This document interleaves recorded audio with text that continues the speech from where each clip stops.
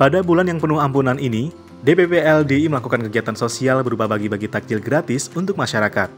Kegiatan sosial ini diwakili oleh para pengurus Dewan Kemakmuran Masjid atau DKM Jamiatul Ma'wa Senayan, mulai pukul 5 sore hingga selesai.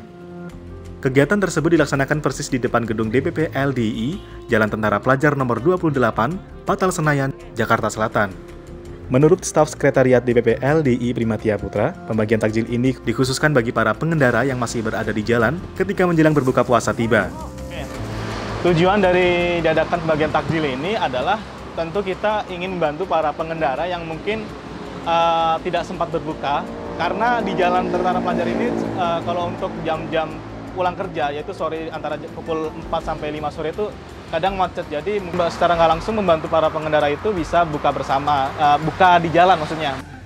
DPP LDI menyiapkan sekitar 150 bungkus takjil setiap harinya. Kegiatan ini juga rutin dilakukan hingga menjelang berakhirnya bulan Ramadan.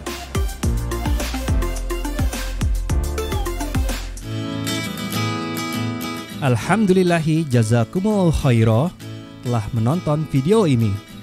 Jangan lupa klik tombol subscribe untuk menunjukkan dukungan ke channel LDI TV dan klik tombol lonceng untuk mendapatkan update video terbaru. Wassalamualaikum warahmatullahi wabarakatuh.